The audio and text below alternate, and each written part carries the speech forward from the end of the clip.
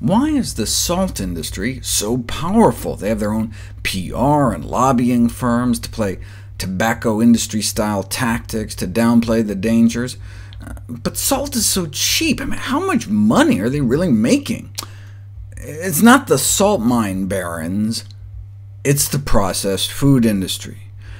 Just like the sugar industry could care less if we buy a two-pound bag at the store, it's the trillion-dollar processed food industry that uses the dirt-cheap added salt and sugar to sell us their junk. And by hooking us on hyper-sweet, hyper-salty foods, our taste buds get so dampened down that natural foods taste like cardboard. The ripest fruit may not be as sweet as Froot Loops, so we just continue to buy more and more.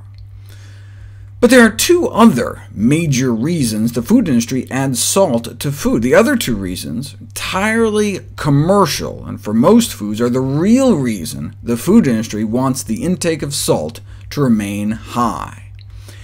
If you add salt to meat, it draws in water, so you can increase the weight by like 20%.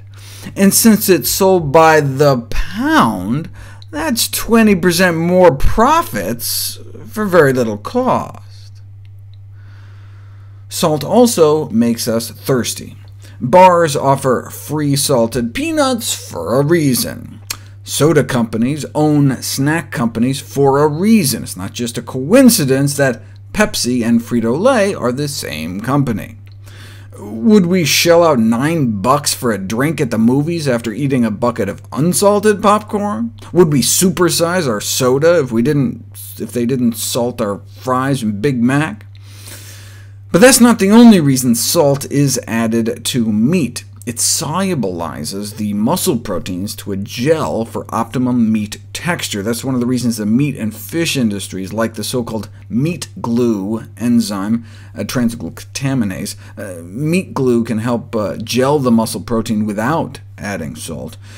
But some of these salt alternatives leave a bitter aftertaste in the meat, uh, but this problem can be managed by also adding a bitter-blocking chemical to the meat, which work by blocking the activation of our taste receptors, preventing that information from ever reaching our brain. Uh, the meat industry acknowledges that their products contribute a significant amount of dietary sodium, maligning their image, but salt is just so cheap that using anything else would cost them money. However, if they're able to resolve this cost issue, if they can make it cost-effective, then one day maybe they could end up saving millions of lives as well as dollars.